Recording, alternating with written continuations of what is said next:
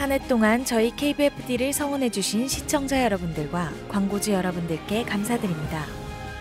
2024년 새해에도 저희 KBFD는 기쁨과 행복을 선사하는 여러분의 방송이 될 수 있도록 최선을 다하겠습니다. 새해에도 더욱 건강하시고 하시는 모든 일에 행운이 가득하시길 기원드립니다.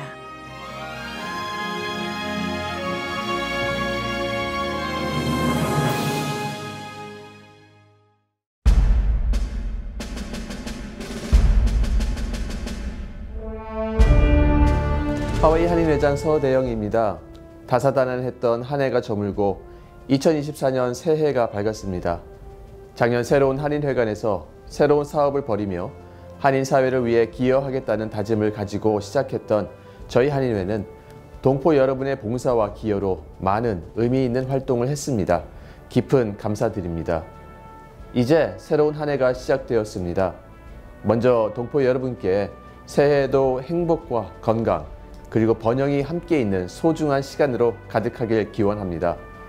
하와이 한인회가 그리고 우리 한인사회는 여러분의 사랑과 관심으로 꾸준히 성장하고 성숙해질 수 있었습니다.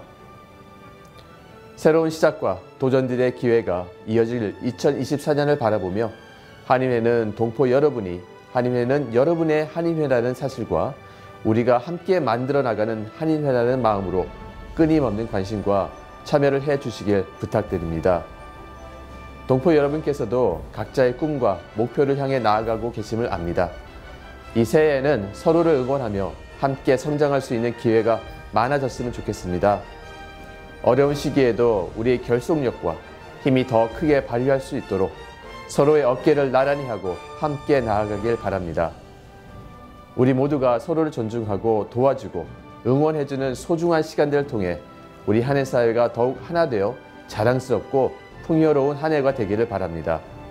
그러므로 앞으로 하와이 한인 사회에서 동포 권위 신장과 차세대 인재 양성 및 지역 사회에서 주요 역할을 하는 우리 모두가 되기를 바라고 여러분 모두가 꿈을 이루고 가족과 사랑으로 가득한 행복한 순간들로 채워진 새해가 되길 다시 한번 진심으로 기대합니다.